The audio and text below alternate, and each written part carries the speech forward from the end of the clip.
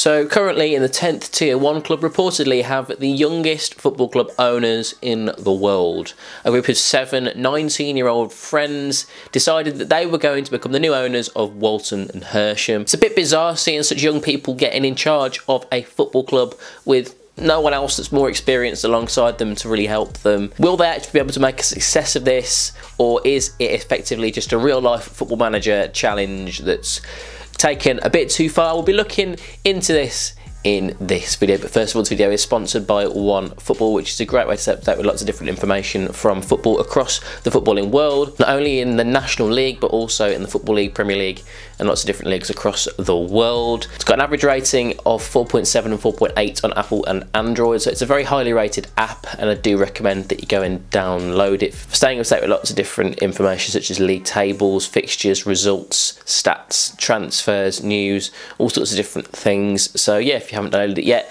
The link to download it will be in the top line of the description. But yeah, let's get straight on to what's going on at Walton and Hersham. The club who were founded as a result of the merger of Walton and Hersham in 1945 have some interesting things going on in their history, including a 4 win over Brian Clough's Brighton, the FA Cup in 1974, and also had Sir Stanley Matthews as club president in the 1980s, as well as Martin Tyler coaching them in 2005. So following the end of the 18-19 season, the previous owner at Walton and Hersham was looking to step aside.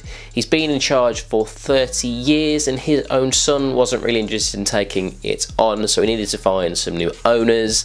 That's when some friends of the owner's son decided that they actually might want to give it a bit of a shot. One of the seven co-owners, Sarte Tucker, said Alan Smith, who was the previous owner, didn't want to continue running the club and his son Toby couldn't really see himself committing so much time to the club because of other commitments. One of my mates, who's another of the owners, knows Toby personally, so he devised this idea. He came up with a plan and we pitched it to Toby Smith the de facto chairman at the time. He really liked it and a good opportunity to breathe fresh life into the team. So you could view this as just the owner seeing it as an easy way out to give this club away to some young people that were ambitious and passionate and wanted to take this on as a bit of a challenge but it did start off as a bit of a crazy idea that really just formulated into something they really thought actually might be able to work. Obviously at first we all thought it was an absolutely crazy idea, but we delved into it a bit more and looked at how something like this might work in practice, it actually became more feasible.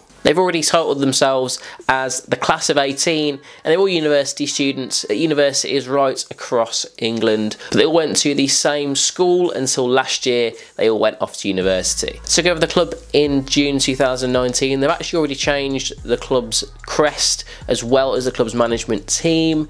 One thing that has actually helped them and is one of the things that's a big problem about a lot of non-league clubs trying to carry on going is the fact that their ground is owned by a local contractor as part of the council. So that basically means that he will sort everything in terms of maintaining the pitch and things around the stadium. That's something that they don't have to worry about because for a lot of non-league clubs, they need volunteers that are going to help to try and sustain these types of things. The odd jobs, the things that people don't really want to do, are the things that often cause a lot of problems in the lower levels of non-league. This has allowed these seven friends to just focus on the football side of things, which is where their passion obviously lies. It is a dream for seven young people seven friends to own a football club. How cool is that as a prospect?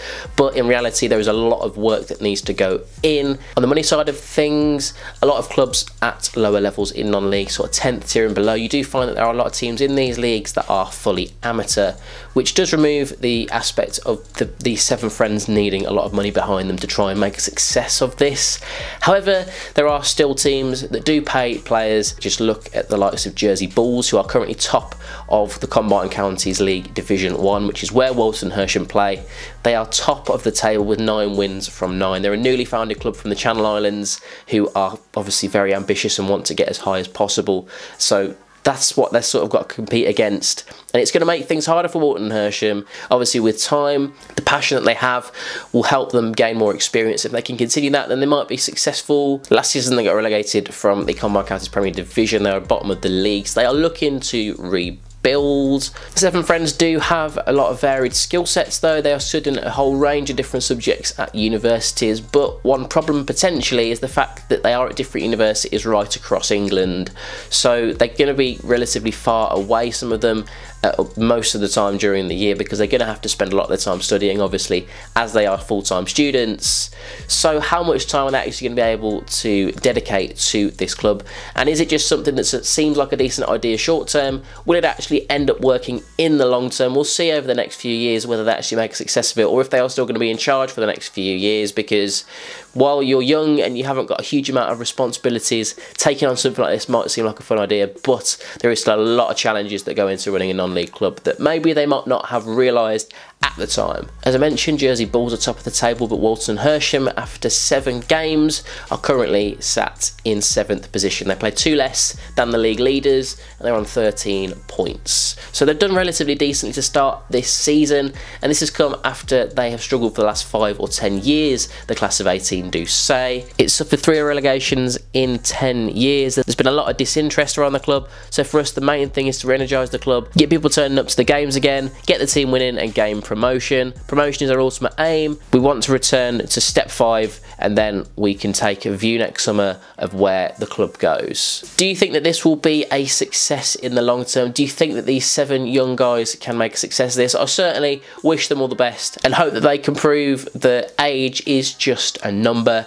and it doesn't matter that they are quite young, they can still go and make a success of this. But yeah, let me know your thoughts in the comment section down below. If you enjoyed this video, remember to hit the like button and click subscribe as well to stay up to date with lots of different information and unique stories like this one from non-league football.